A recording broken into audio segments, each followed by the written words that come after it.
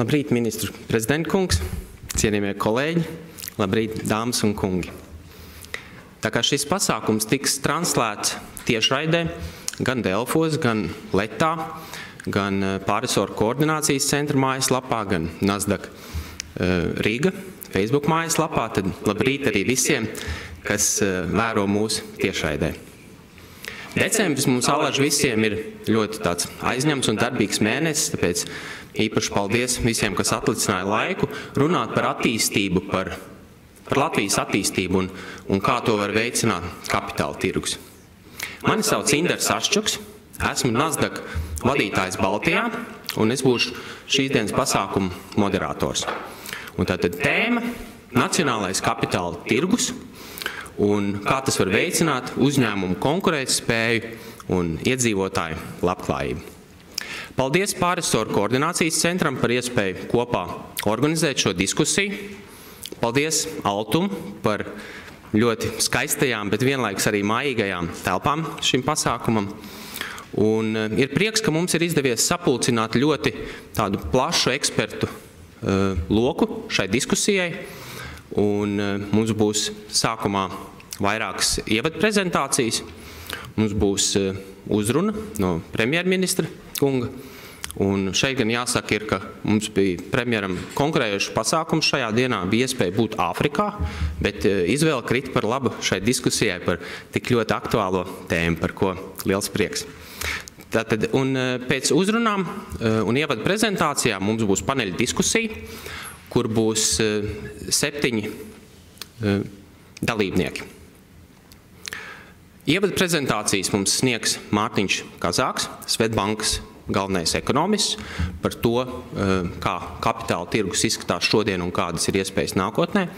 Un pēc tam būs ievada prezentācija no Jūras Stinkas, ekonomikas ministrijas valsts sekretāra par to, kāds ir ministrijas redzējums attiecībā uz kapitāla tirgu un valsts uzņēmumiem.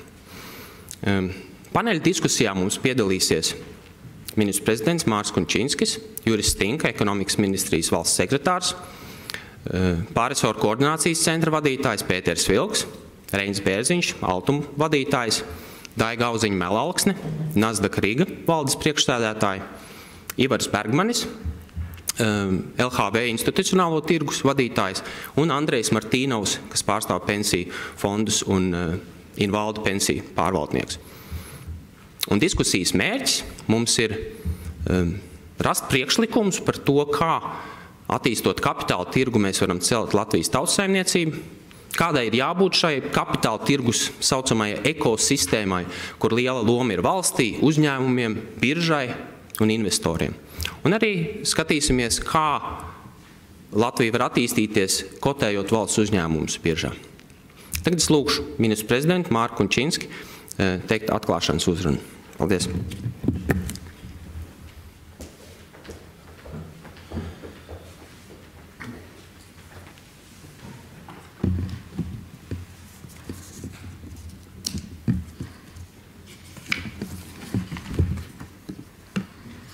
Cienījamie vērtspapīra speciālisti, ekonomikas eksperti, konferences dalībnieki.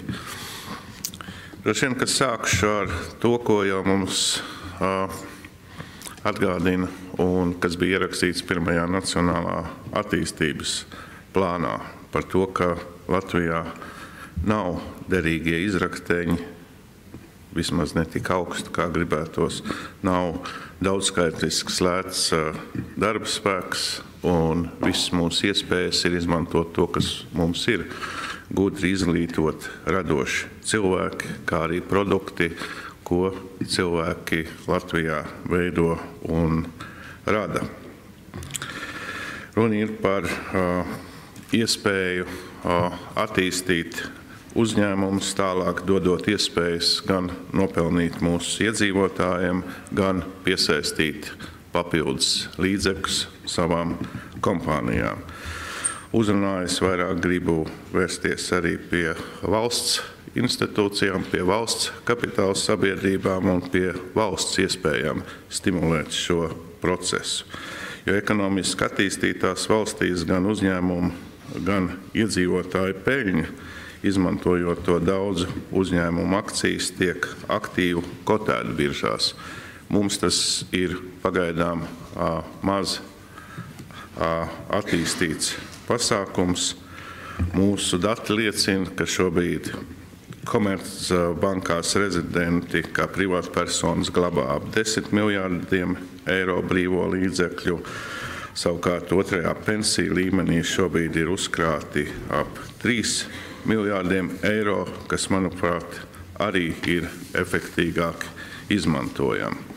Izaicinājumi ir pašā faktā, ka kapitāla tirgū šobrīd Latvijā ir neliels kotēto uzņēmumu skaits, zems akciju tirniecības apgrozījums biržā, zema likviditāte, maz institucionālo un privāto investoru, bet sākums mums ir labs un progress pēdējā laikā ir arī jūtams. Mēs atrodamies Altuma telpās, un man bija prieks dzirdēt no Reņa Bērziņa par uh, veiksmīgu uzsākto darbību.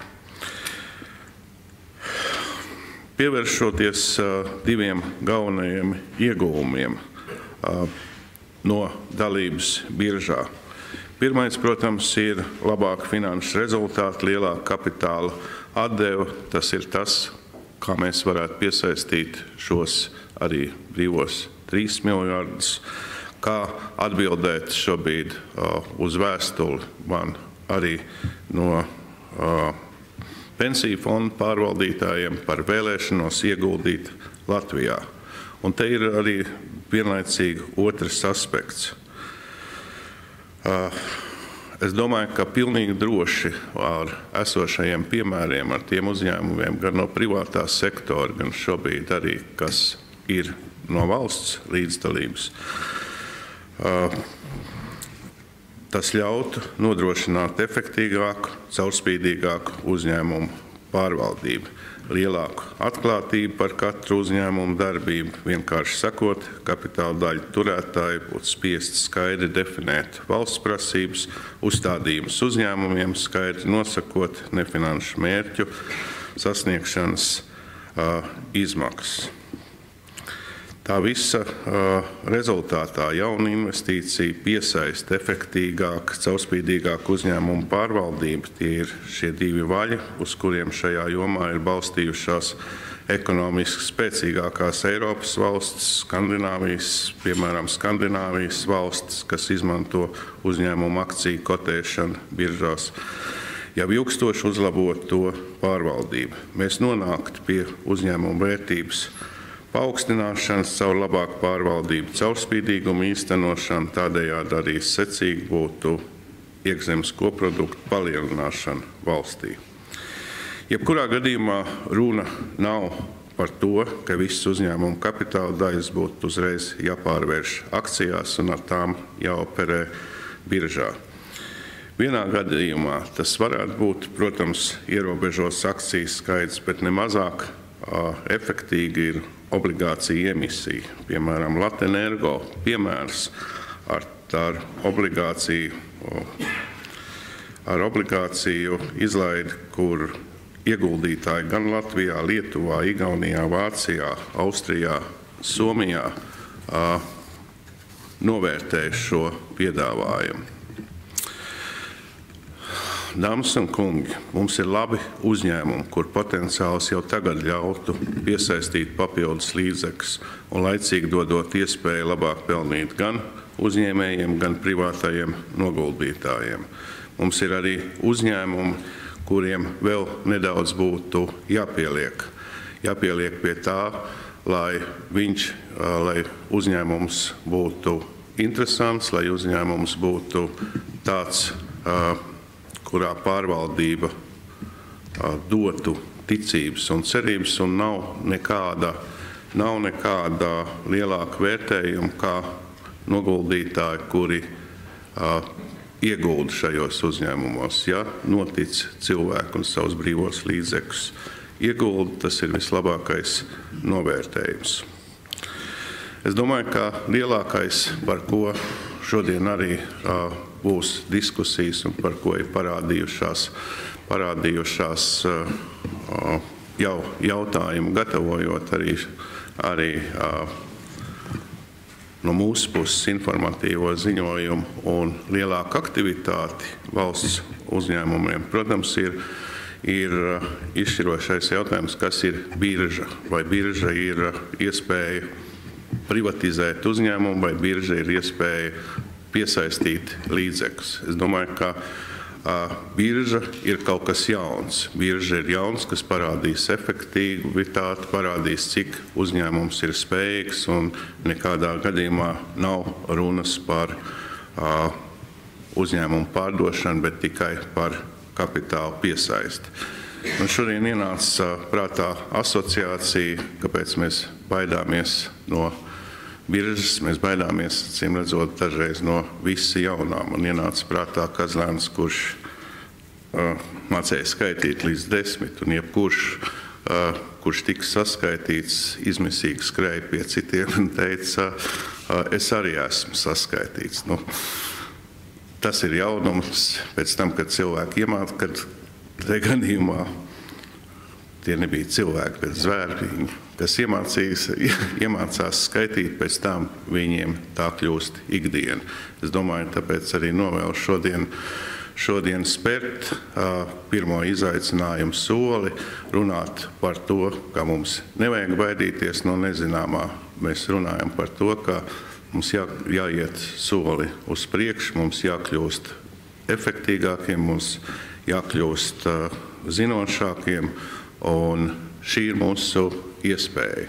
Novēlu šodien uh, produktīvu, labu darbu un uzskatām, ka šis ir uh, vēl viena iespēja uh, valsts uzņēmumiem, pašvaldību arī uzņēmumiem kļūt vēl labāk pārvaldītiem, kļūt efektīviem un cilvēku ieguldījumu būt tas vērtējums, kas arī to varētu novērtēt. Paldies!